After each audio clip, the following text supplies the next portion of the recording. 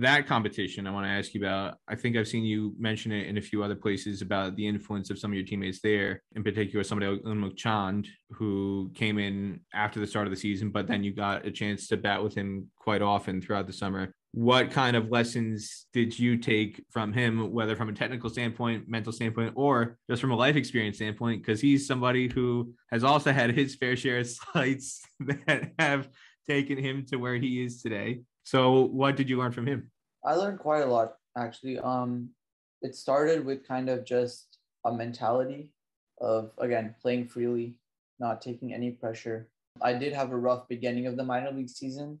I wasn't scoring a lot of runs, and then once he came in, once I started batting with him, our chats in the middle of you know, back yourself, you got this. I mean, again, I think I said it on Nate's show, but a player of that stature being confident in your ability gives you confidence of yourself. I mean, someone who's played for India under 19 is telling you that you're capable of doing something, you're going to believe him.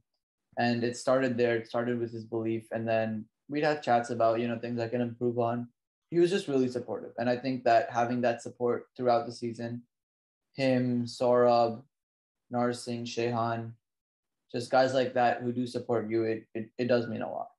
Those are pr- some pretty big names for anybody to be able to get to bat with and kind of soak up technical skills or temperamental approaches to cricket at any age. Anybody who'd get a chance to be around those guys would be pretty lucky. But as a 17 year old, getting a chance to be in a squad that that's deep and not just be in the squad, but be a regular player in the 11 alongside the likes of, like you said, Saurabh Netravalkar, Narsingh Deonarine, Unmukt Chand, Shehan Jayasuriya, so many experienced international players in that group.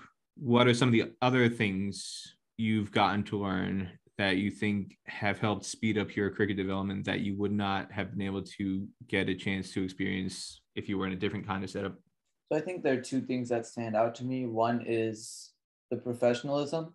Um, obviously, I've never played cricket for money or as a professional, like or from a professional standpoint. And these people coming from only playing professional cricket, it taught me a lot of the standards I need to set for myself, both fitness wise and cricket wise. And again, that's something I'm taking into aspect right now, just kind of figuring out what I need to do to play at that professional level.